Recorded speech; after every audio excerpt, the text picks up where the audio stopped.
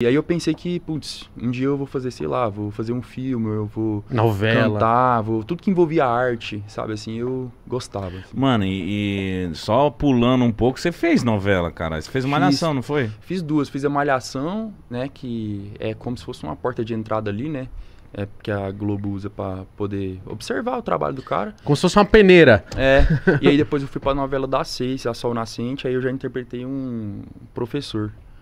Foi e massa. como que é, Caralho! mano? Deve ser muito... Quando eu vi que você tava na Malhação, a primeira coisa que eu, que eu me perguntei, eu falei assim... Mano, ele é muito louco, porque, porra, o cara faz show demais. E ainda vai se prestar a A de- essa- é decorar muita, texto, muita dedicação, né? interpretação. Mas eu falei, pô, ele é artista, Cara, o cara foi é brabo, um tempo mano. da minha vida, assim, foi, foi muito foda, assim, foi, eu faria tudo de novo, porque realmente, a hora, que- quando eu entrei na Malhação, eu tava no pipoco do, da Vai Vendo.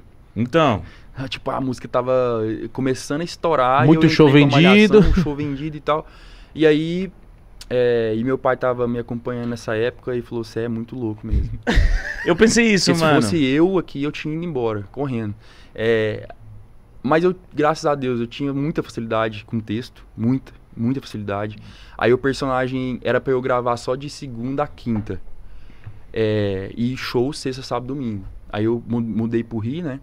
É, meu pai e minha mãe às vezes ia pra lá e tal. E aí começou as gravação e o personagem começou a ir bem, o Hudson, que era, que era engraçado e tal, e o personagem começou a tomar uma proporção, proporção grande. É que a galera E não entende isso, que a novela, ela, tipo, ela tem um enredo, Sim, mas conforme o, se o, é vivo, né? o personagem vai fazendo sucesso, ele vai aparecendo mais. Você é É louco, que o escritor- viralizou vários memes é, do seu personagem, eu lembro. O escritor ele vai colocando mais cenas pra aquele personagem e quando eu vi eu tava gravando, tipo de segunda a sexta até a noite pra pegar sair do Projac, pegar um avião e fazer show sexta, sábado, domingo. Nossa. Nossa, mano. Aí Cansou, foi não? foda. Não, mano, aí eu dei no meio do, do esquema, velho, aí eu dei um bizil. Aí eu dei um burnout,